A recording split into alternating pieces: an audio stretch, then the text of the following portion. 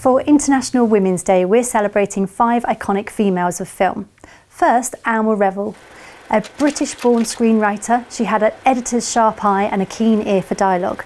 She was also Alfred Hitchcock's wife, and he credited her for his success.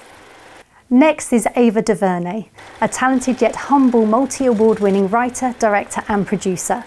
She described the Oscars as just a room in LA. Third is Penny Marshall, an actress turned director and producer. She made her directorial debut with Jumpin' Jack Flash starring Whoopi Goldberg, going on to direct Tom Hanks in Big, which became the first film directed by a woman to gross more than $100 million in the US box office. Our fourth female trailblazer is Academy Award winning editor Thelma Schoonmaker. Thelma is known as the backbone of Martin Scorsese's mastery. She has a natural flair for shaping a large lump of footage into succinct story.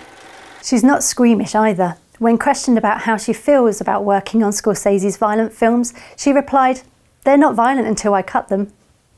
Last but by no means least, Chloe Zhao recently made history with her film Nomadland, winning Best Film and Best Director at the Golden Globes, injecting some much needed inclusivity something we hope to see a lot more of to ensure wide reaching talent for this vibrant industry.